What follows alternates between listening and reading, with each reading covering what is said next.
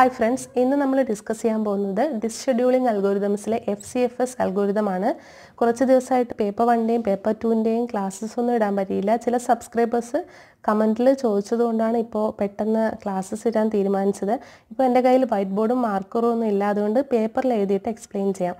Videos ചിലർക്കെങ്കിലും ഉപകാരപ്രദമാവുന്നുണ്ട് എന്നറിഞ്ഞതിൽ വളരെയധികം സന്തോഷമുണ്ട്. അപ്പോൾ നമുക്ക് F C F S algorithm എന്താണെന്ന് നോക്കാം. ഡിസ്ഷെഡ്യൂളിംഗ് അൽഗോ അൽഗോരിതം എന്തിനാണെന്ന് നമ്മൾ ഓൾറെഡി ഡിസ്കസ് ചെയ്തതാണ്. അത് കാണാത്തവർ ചാനൽ നെയിമിൽ ക്ലിക്ക് ചെയ്ത് പ്ലേലിസ്റ്റ് എടുത്ത് നോക്കുക. അപ്പോൾ നിങ്ങൾക്ക് ഒ എസിന്റെ പ്ലേലിസ്റ്റ് കാണാം. അതായത് ഓപ്പറേറ്റിംഗ് സിസ്റ്റംസിന്റെ എല്ലാ വീഡിയോസും ഒരു പ്ലേലിസ്റ്റിൽ ഇട്ടിട്ടുണ്ട്. അത് കാണാൻ കഴിയും. അതിൽ പാർട്ട് നമ്പറും കൂടെ കൊടുത്തിട്ടുണ്ട്. അത് അതേ ഓർഡറിൽ തന്നെ കാണുക. എന്നാൽ മാത്രമേ നിങ്ങൾക്ക് ഇതൊക്കെ വ്യക്തമായിട്ട് മനസ്സിലാവുകയുള്ളൂ. ഇനി ഇത് എഫ് സി എഫ് എസിനെ പറ്റി പറയാം. F C F S disk scheduling അൽഗോരിതംസിലെ ഏറ്റവും സിമ്പിളായിട്ടുള്ള അൽഗോരിതമാണ് ഇത് പറയുന്നതിനേക്കാളും മുന്നേ നമുക്ക് ഡിസ്ഷെഡ്യൂളിംഗ് എന്താണെന്ന് ഓൾറെഡി എക്സ്പ്ലെയിൻ ചെയ്തതാണ്. എന്നാലും ഡിസ്കിന്റെ സ്ട്രക്ചർ ഒന്ന് സിമ്പിളായിട്ടൊന്ന് പറയാം. ഡിസ്കിന്റെ സ്ട്രക്ചർ എന്ന് പറയുന്നത് ഇത് നമുക്ക് സി ഡി അറിയാലോ. അതുപോലെ കുറേ സി ഡികൾ ഇങ്ങനെ വെച്ചിട്ട് അതിനെ കണക്ട് ചെയ്യാൻ ഇങ്ങനെ കണക്ട് ചെയ്ത ഈ ഒരു രൂപമാണ് ഹാർഡ് ഡിസ്ക് അപ്പോൾ ഒരു സിലിണ്ട്രിക്കൽ ഷേപ്പിലായിരിക്കും ഇതുണ്ടാവുക. മൊത്തത്തിൽ നോക്കുമ്പോൾ ഒരു സിലിണ്ട്രിക്കൽ ഷേപ്പിലാണ് ഉണ്ടായിരിക്കുക. അപ്പോൾ ഇതിൽ തന്നെ ഇതിന് ഓരോ ഇങ്ങനെ ലെയറായിട്ട് ഇതൊരു ഡിസ്ക്കാണ് ഇതൊരു ഡിസ്ക്കാണ് നമ്മൾ സാധാരണ സി ഡി സങ്കല്പിച്ചാൽ മതി. ഒരുപാട് സി ഡികൾ ഒരുമിച്ച് ഇങ്ങനെ ഒന്നിനു മുകളിൽ ഒന്നായിട്ട് ഒതുക്കി വെച്ചിരിക്കുന്ന ആ ഒരു രൂപം. അങ്ങനെയാണ് ഡിസ്ക് അതാണ് ഡിസ് ഡിസ്കിന്റെ സ്ട്രക്ചർ. അപ്പോൾ ഇതിൽ ഒരുപാട് പ്ലാറ്റേഴ്സ് ഉണ്ടാവും. ഇതൊക്കെ പ്ലാറ്റേഴ്സ് ആണ്. പിന്നെ ഇതിൽ ഇങ്ങനെ ഒരുപാട് വളയങ്ങൾ കാണാം. അതായത് സർക്കിൾസ് കാണാം. അതിനൊക്കെ ട്രാക്സ് എന്നാണ് പറയുന്നത്. അതിനെ പിന്നെയും ഇങ്ങനെ പാർട്സായിട്ട് ഡിവൈഡ് ചെയ്തിട്ടുണ്ട്. അതിനെ സെക്ടർ എന്നാണ് പറയുന്നത്. ഇതാണ് പ്രധാനമായിട്ടും സ്ട്രക്ചറിലുള്ളത് ഇത് ഡീറ്റെയിൽ ആയിട്ട് അറിയണമെങ്കിൽ ഇത് മുന്നത്തെ വീഡിയോ കണ്ടാൽ മതി. ഒന്ന് വെറുതെ ഒന്നുകൂടെ പറയുന്നതാണ്. അപ്പോൾ ഇതാണ് ഡിസ്കിന്റെ സ്ട്രക്ചർ എന്ന് പറയുന്നത്. പ്ലാറ്റർ ഉണ്ടാവും. പിന്നെ ഇങ്ങനെയുള്ള സർക്കിൾസ് ഇതിനുള്ളിലായിട്ട് വരുന്ന സർക്കിൾസിനെയാണ് ട്രാക്സ് എന്ന് പറയുന്നത്. അതിനെ വീണ്ടും ഡിവൈഡ് ചെയ്തതാണ് സെക്ടേഴ്സ് എന്ന് പറയുന്നത്. ഇനി രണ്ട് ഓപ്പറേഷൻസ് ആണ് ഉണ്ടാവുക. റീഡ് ഓപ്പറേഷൻ പിന്നെ റൈറ്റ് ഓപ്പറേഷൻ അത് നമുക്കറിയാമല്ലോ റീഡ് ഓപ്പറേഷൻ എന്ന് പറയുന്നത് ഓൾറെഡി അതിൽ സ്റ്റോർ ചെയ്തിട്ടുള്ള ഡാറ്റ ആക്സസ് ചെയ്യുന്നത്. അതിന് റീഡ് ചെയ്യുന്നതിനാണ് റീഡ് ഓപ്പറേഷൻ എന്ന് പറയുന്നത്. റൈറ്റ് ഓപ്പറേഷൻ അതിലേക്ക് ഡാറ്റ സ്റ്റോർ ചെയ്യുന്നതിനാണ് റൈറ്റ് ഓപ്പറേഷൻ എന്ന് പറയുന്നത്. അപ്പോൾ റീഡ് ഓപ്പറേഷൻ റൈറ്റ് ഓപ്പറേഷൻ നടക്കണമെങ്കിൽ ഡിസ്കിൽ ഏത് ട്രാക്കിലാണ് എന്ന് എന്ന് നമുക്ക് എന്നതിനനുസരിച്ചാണ് അതിൽ റീഡ് ഓപ്പറേഷനും റൈറ്റ് ഓപ്പറേഷനും നടത്തുന്നത്. അതിന് റീഡ് റൈറ്റ് ഹെഡ് ഉണ്ട്. അപ്പോൾ റീഡ് റൈറ്റ് ഹെഡാണ് ആ പർട്ടിക്കുലർ ട്രാക്കിലേക്കൊക്കെ എത്തിച്ചേരുന്നത്. എന്നിട്ട് ആ, ഒരു ഓപ്പറേഷൻ പെർഫോം ചെയ്യുന്നത്. അപ്പോൾ അതിന് ഡിഫറെന്റ് അൽഗോരിതംസ് യൂസ് ചെയ്യുന്നുണ്ട്. അതിൽ ഒന്നാമത്തെ അൽഗോരിതമാണ് F C F S algorithm എന്ന് പറയുന്നത്. അപ്പോൾ എഫ് സി എഫ് എസിനെ പറ്റിയാണ് നമ്മളിന്ന് ഡിസ്കസ് ചെയ്യാൻ പോകുന്നത്. എഫ് സി എഫ് എസിന്റെ പ്രത്യേകതകൾ എഫ് സി എഫ് എസിൽ request are addressed in the order they arrive in the disk queue queue അപ്പോൾ ഡിസ്ക് ക്യൂ ഉണ്ടായിരിക്കും. ഒരുപാട് റിക്വസ്റ്റ് വരുമ്പോൾ ക്യൂവിലാണ് റിക്വസ്റ്റ് ഉണ്ടായിരിക്കുക. അപ്പോൾ ആ റിക്വസ്റ്റ് വരുന്നതിന്റെ അതേ ഓർഡറിൽ തന്നെയാണ് റിക്വസ്റ്റുകൾ പെർഫോം ചെയ്യുന്നത് ഓപ്പറേഷൻ പെർഫോം ചെയ്യുന്നത്.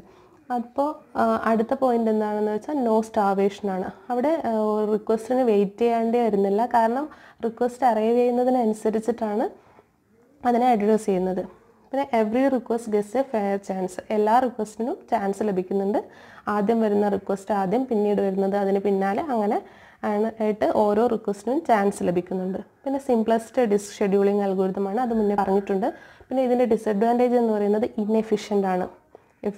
എഫിഷ്യന്റ് ആയിട്ടുള്ള ഒരു അൽഗോരിതം അല്ല F C F S algorithm disk ഷെഡ്യൂളിങ്ങിൽ പിന്നെ മോ സീക്ക് ടൈം സീക്ക് ടൈം കൂടുതലാണ്. അതായത് ആ പർട്ടിക്കുലർ നമുക്ക് എവിടെ നിന്നാണോ റീഡ് ചെയ്യേണ്ടത് അല്ലെ എവിടത്തേക്കാണോ റൈറ്റ് ചെയ്യുന്നത് ആ ട്രാക്കിലേക്കൊക്കെ എത്തിച്ചേരാനുള്ള സമയം കൂടുതലാണ്. ഇനി നമുക്ക് ഇതിലെങ്ങനെയാണ് ഒരു ക്വസ്റ്റ്യൻ സോൾവ് ചെയ്ത് നോക്കാം.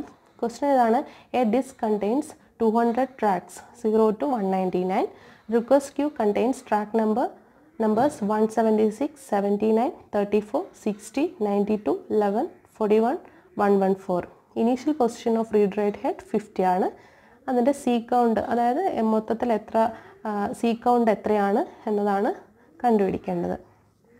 അപ്പോൾ നമുക്ക് ഇതിൽ സാധാരണ ഞാൻ പറഞ്ഞല്ലോ ഇതിൽ പ്ലാ ഒരു പ്ലാറ്ററിൽ ട്രാക്സും സെക്ടേഴ്സും ഉണ്ടായിരിക്കും. അപ്പോൾ ഇത് സീറോ ആണ്. One two three four five six അങ്ങനെ നയന്റി നയൻ. ഇതാണ് ശരിക്കും ഇവിടെ ഇങ്ങനെയാണ് ഇത് പോകുന്നത്. ഇത് തുടക്കത്തിൽ നിന്നും ഇങ്ങോട്ടേക്ക് വരുന്തോറും കൂടിക്കൊണ്ടിരിക്കുകയാണ് അപ്പോൾ ഈ ഒരു ഡിസ്റ്റൻസ് ഇതിനെയാണ് നമ്മൾ ഈ ഒരു ലൈൻ കൊണ്ട് ഇവിടെ സൂചിപ്പിക്കുന്നത്. അപ്പോൾ ഈ റീഡ് റൈറ്റ് ഹെഡിന്റെ മൂവ്മെന്റ് ഇതിലുള്ള ട്രാക്ക് നമ്പേഴ്സിന്റെ നമ്പർ ഇവിടെ കൊടുത്തിട്ടുണ്ട്. ഈ റിക്വസ്റ്റ് ക്യൂവിലുള്ള ട്രാക്ക് നമ്പേഴ്സാണ് ഇവിടെ തന്നിട്ടുള്ളത്. അപ്പോൾ റീഡ് റൈറ്റ് ഹെഡിന്റെ മൂവ്മെന്റ് ആണ് നമ്മളിവിടെ സൂചിപ്പിക്കുന്നത്. ഇവിടെ നമുക്ക് ഇനീഷ്യൽ പൊസിഷൻ ഫിഫ്റ്റി ആണെന്ന് തന്നിട്ടുണ്ട്. പിന്നെ ട്രാക്ക് നമ്പേഴ്സ് എന്തൊക്കെയാണെന്ന് തന്നിട്ടുണ്ട്. അപ്പോൾ ഇത് സോൾവ് ചെയ്യുമ്പോൾ ഒന്നുകിൽ നമുക്ക് ഇതൊക്കെ നേരത്തെ തന്നെ ഈ ലൈനിൽ മാർക്ക് ചെയ്ത് വെക്കാം. അതായത് ട്രാക്ക് നമ്പേഴ്സ് അതേ ഓർഡറിൽ ഇപ്പോൾ ലെവൻ ആണ് ഇവിടെ ഫസ്റ്റ് ലെവൻ എന്ന് മാർക്ക് ചെയ്ത് തേർട്ടി ഫോർ എന്ന് മാർക്ക് ചെയ്ത് പിന്നെ ഫോർട്ടി വൺ സിക്സ്റ്റി അങ്ങനെയൊക്കെ നമുക്ക് നേരത്തെ മാർക്ക് ചെയ്തിട്ട് ലൈൻസ് യോജിപ്പിക്കാം. അല്ലെങ്കിൽ ഓരോന്നായിട്ട് ഫിഫ്റ്റി ആദ്യം നമുക്ക് ഫിഫ്റ്റി ഏതാണ്ട് ഇതിൽ എവിടെ ആയിരിക്കുമെന്ന് നോക്കി അങ്ങനെയും ചെയ്യാം. അപ്പോൾ നമുക്ക് ആദ്യം മാർക്ക് ചെയ്തിട്ട് ചെയ്യാം. ആദ്യം ഇവിടെ തന്നിട്ടുള്ളത് ലെവൻ ആണ്. അപ്പോൾ സീറോ പിന്നെ ലെവൻ വന്നു. അത് കഴിഞ്ഞിട്ട് പിന്നെ വരുന്നത് ഫോർട്ടി വൺ ആണ്. ഫോർട്ടി വൺ കഴിഞ്ഞിട്ട് അതിനിടക്ക് തേർട്ടി ഫോർ വരുന്നുണ്ട്. തേർട്ടി ഫോർ ഫോർട്ടി വൺ പിന്നെ വരുന്നത് സിക്സ്റ്റി ആണ്. സിക്സ്റ്റി പിന്നെ സെവന്റി നയൻ സെവന്റി നയൻ കഴിഞ്ഞ് നയന്റി ടു നയന്റി ടു കഴിഞ്ഞ് വൺ വൺ ഫോർ പിന്നെ one seventy six one seventy six ഇങ്ങനെയും ചെയ്യാം. അല്ലെങ്കിൽ നേരെ നമുക്ക് ഫിഫ്റ്റിയാണ് ഇനീഷ്യൽ പൊസിഷൻ തന്നിട്ടുള്ളത്. ഫിഫ്റ്റിയിൽ നിന്ന് നേരെ ഏതാണ്ട് വൺ സെവന്റി സിക്സിന്റെ അവിടെ വരെ ഒരു ലൈൻ വരച്ച് അവിടെ വൺ സെവന്റി സിക്സ് എന്ന് മാർക്ക് ചെയ്യാം. അപ്പോൾ ഇതിൽ one two three four five six seven eight nine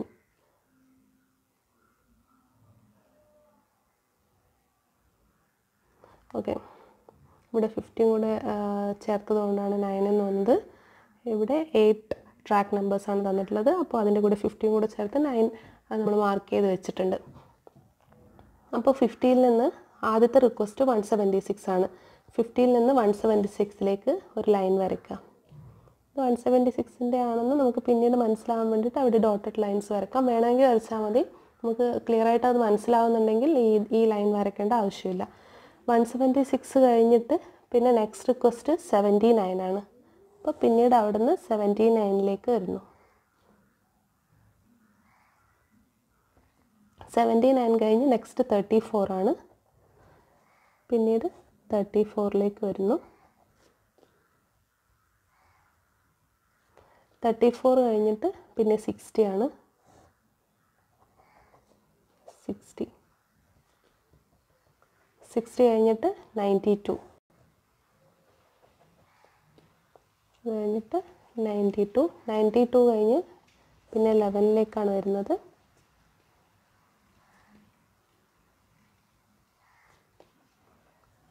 eleven കഴിഞ്ഞിട്ട് ഫോർട്ടി വൺ ആണ്.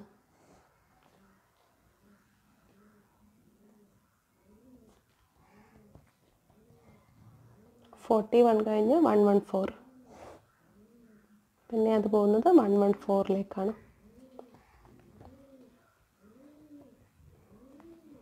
ഇതാണ് നമ്മുടെ ലാസ്റ്റ് വരുന്ന track number one one four ആണ്. അപ്പോൾ നമ്മൾ അതേ ഓർഡറിൽ തന്നെ ഫിഫ്റ്റിയിലായിരുന്നു റീഡ് റൈറ്റ് ഹെഡിന്റെ ഇനീഷ്യൽ പൊസിഷൻ ഫിഫ്റ്റിയിലായിരുന്നു അത് കഴിഞ്ഞ് പിന്നെ വന്ന ഫസ്റ്റ് റിക്വസ്റ്റ് എന്ന് പറയുന്നത് first track number one seventy six ആണ്. അവിടുന്ന് നേരെ വൺ സെവന്റി സിക്സിലേക്ക് മൂവ് ചെയ്തു.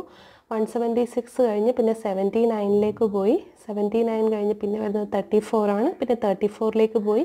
പിന്നെ സിക്സ്റ്റി പിന്നെ സിക്സ്റ്റി കഴിഞ്ഞ് നയന്റി ടു നയന്റി ടു കഴിഞ്ഞ് ലെവൻ വന്നു. അത് കഴിഞ്ഞ് ഫോർട്ടി വൺ വന്നു.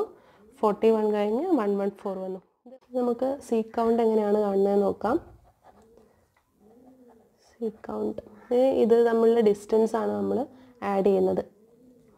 ഫിഫ്റ്റിയിൽ നിന്നും വൺ സെവന്റി സിക്സിലേക്കുള്ള ഡിസ്റ്റൻസ് ഇത് നമുക്ക് പെട്ടെന്ന് കാൽക്കുലേറ്റ് ചെയ്യാൻ കഴിയ കഴിയുമെങ്കിൽ വൺ സെവന്റി സിക്സ് നിന്ന് ഫിഫ്റ്റി മൈനസ് ചെയ്തിട്ട് എന്താണ് കിട്ടുന്നത്? ഇതിനും ഇതിനും ഇടയ്ക്കുള്ള ഡിസ്റ്റൻസ് എത്രയാണെന്ന് നേരിട്ട് എഴുതാം. അല്ലാത്തവർ അതിൽ നിന്ന് വലിയ വാല്യൂയിൽ നിന്ന് ചെറിയ വാല്യൂ കുറയ്ക്കുക. വൺ സെവന്റി സിക്സ് അപ്പോൾ അതിനിടയിലുള്ള ഡിസ്റ്റൻസ് കിട്ടുമല്ലോ? One seventy six minus fifty പിന്നെ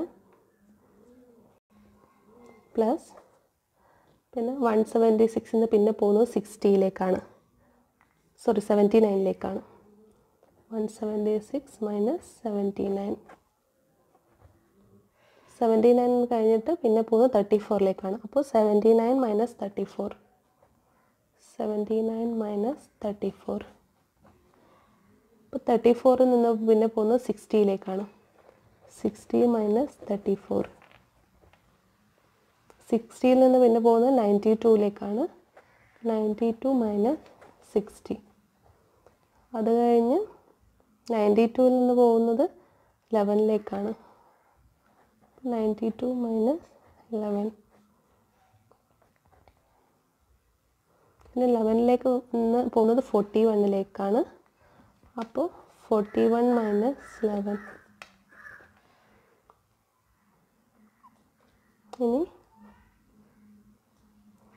പോകുന്നത് one one ഫോറിലേക്കാണ് one one four minus forty one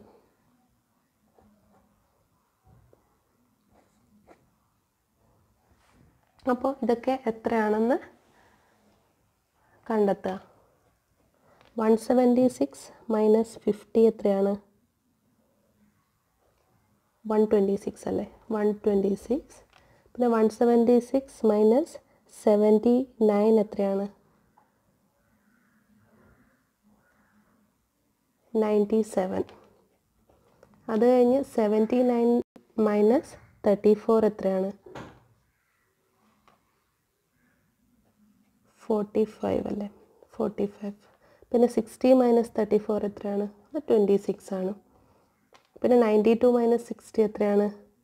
Thirty two. പിന്നെ നയന്റി ടു മൈനസ് ലെവൻ എത്രയാണ്? എയ്റ്റി വൺ ആണല്ലോ. Plus forty one minus eleven എത്രയാണ്? തേർട്ടി. പിന്നെ one one four minus forty one എത്രയാണ്? Seventy three അല്ലേ? അപ്പോൾ അപ്പോൾ എല്ലാം ഇനി എല്ലാം ആഡ് ചെയ്യാം. അപ്പോൾ ആഡ് ചെയ്തിട്ട് എന്താണെന്ന് കേട്ടോക്കാം. ഇതെല്ലാം ആഡ് ചെയ്ത് കഴിഞ്ഞാൽ നമുക്ക് ഫൈവ് വൺ സീറോ എന്ന ആൻസർ കിട്ടും. അപ്പോൾ ഇതിന്റെ C count five one zero ആണ്. അപ്പോൾ ഇങ്ങനെയാണ് നമ്മൾ ഇതിൽ സി കൗണ്ട് കണ്ടെത്തുന്നത്. ഇത് ഇവിടെ കൺഫ്യൂഷൻ ഉണ്ടാവാതിരിക്കാൻ വേണ്ടിയിട്ടാണ് ഞാൻ ഓരോന്നോരോന്നായിട്ട് പറഞ്ഞത്. കാരണം fifty two one seventy six എത്രയാണ്? പിന്നെ one seventy six two seventy nine എത്രയാണ്? Seventy nine two thirty four എത്രയാണ്? അങ്ങനെ അങ്ങനെ ഓരോന്നോരോന്നായിട്ടാണ് പറഞ്ഞത്. പക്ഷേ ഇങ്ങനെ സ്ട്രേറ്റ് ലൈൻ ആയിട്ട് നമുക്ക് നേരെ കിട്ടുമോ കിട്ടുവാണെങ്കിൽ നമുക്ക് ഇവിടുന്ന് ഇവിടത്തേക്കുള്ള ഡിസ്റ്റൻസ് കണ്ടാൽ മതി. ഇത് മൊത്തത്തിലുള്ള ഡിസ്റ്റൻസ് ഇവിടുന്ന് ഇവിടത്തേക്കുള്ള ഡിസ്റ്റൻസും ഇതിൽ നിന്ന് ഇതിലേക്കുള്ള ഡിസ്റ്റൻസും കൂടെ ആഡ് ചെയ്തതാണല്ലോ ഇവിടുന്ന് ഇവിടത്തേക്ക് മൊത്തത്തിലുള്ള ഡിസ്റ്റൻസ് അപ്പോൾ അങ്ങനെ കണ്ടാലും മതി. അങ്ങനെ ഇങ്ങനെ നേരെയുള്ള ലൈൻസ് വരുമ്പോൾ അതിൽ നിന്ന് തുടക്കത്തിൽ നിന്ന് ഇങ്ങേ അറ്റത്തേക്കുള്ള ഡിസ്റ്റൻസ് ഇവിടുന്ന് ഇവിടത്തേക്കുള്ളതും ഈ ലൈനാണെങ്കിൽ ഇവിടുന്ന് ഇവിടത്തേക്കുള്ളതും ഇതാണെങ്കിൽ ഇവിടുന്ന് ഇവിടത്തേക്കുള്ളതും ഡിസ്റ്റൻസ് ആഡ് ചെയ്താൽ മതി. അപ്പോൾ ഇതുപോലെ ഒരുപാട് കാൽക്കുലേഷൻസ് വരില്ല. നമുക്ക് എളുപ്പത്തിൽ സോൾവ് ചെയ്യാൻ കഴിയും. അതുപോലെ തന്നെ ഈ ലൈൻ വരയ്ക്കണം നമ്മൾ ഇതുപോലത്തുള്ള കുറേ ക്വസ്റ്റ്യൻസ് സോൾവ് ചെയ്ത് കഴിഞ്ഞാൽ ഇങ്ങനെ ലൈൻ വരച്ച് ചെയ്യേണ്ട ആവശ്യം വരില്ല. കാരണം എഫ് സി എഫ് എസ് ആണ് റിക്വസ്റ്റിന്റെ അതേ ഓർഡറിലാണ് അപ്പോൾ വൺ സെവന്റി ഇനീഷ്യൽ പൊസിഷൻ ഏതാണെന്ന് വെച്ചാൽ അത് ഇവിടെ ഉണ്ടെന്ന് സങ്കല്പിക്കുക ഇനീഷ്യൽ അതാണല്ലോ. അത് കഴിഞ്ഞിട്ട് ഇവിടെ ഇവിടേക്കാണ് പോകുന്നത്. അപ്പോൾ ഫിഫ്റ്റീന്ന് വൺ സെവന്റി സിക്സിലേക്ക് എത്രയാണ്? അത് തമ്മിലുള്ള ഡിഫറൻസ് എത്രയാണ്? അത് പ്ലസ് പിന്നെ വൺ സെവന്റി സിക്സിന് പിന്നെ പോകുന്നത് സെവന്റി നയൻ ആണ്. അപ്പോൾ ഇത് തമ്മിലുള്ള ഡിഫറൻസ് എത്രയാണ്? അങ്ങനെ ആഡ് ചെയ്താലും മതി. ഇങ്ങനെ വരയ്ക്കേണ്ട ആവശ്യമില്ല. ഇങ്ങനെയാണ് ഇത് ഇങ്ങനെയാണ് ചെയ്യുന്നത് എന്ന് മനസ്സിലാക്കി തരാൻ വേണ്ടിയിട്ടാണ് ഇങ്ങനെ എക്സ്പ്ലെയിൻ ചെയ്തത്. അപ്പോൾ ഈ വീഡിയോ നിങ്ങൾക്ക് എല്ലാവർക്കും ഹെൽപ്ഫുൾ ആയിട്ടുണ്ടാവുമെന്ന് വിശ്വസിക്കുന്നു. എങ്കിൽ ലൈക്ക് ചെയ്യുക ഷെയർ ചെയ്യുക ചാനൽ സബ്സ്ക്രൈബ് ചെയ്യുക. ഇനി വീഡിയോസ് ഇടുമ്പോൾ നോട്ടിഫിക്കേഷൻ ലഭിക്കുന്നതിനായി ബെല്ലൈക്കൺ കൂടെ പ്രസ് ചെയ്യുക. താങ്ക്